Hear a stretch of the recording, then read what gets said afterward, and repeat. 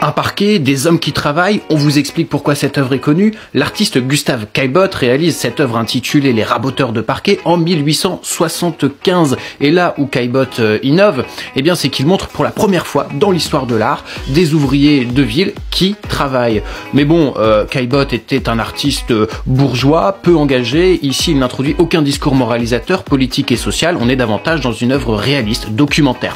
D'ailleurs, le réalisme et la scène que l'on juge vulgaire pour l'époque entraînera eh bien, de euh, nombreuses critiques avant d'être exposée au Salon des impressionnistes en 1876, où l'œuvre recevra une, une critique mitigée entre ceux qui voient une peinture d'une grande modernité et ceux qui voient une peinture très bourgeoise. Bon, l'essentiel, c'est que l'œuvre ne laisse pas indifférente, non?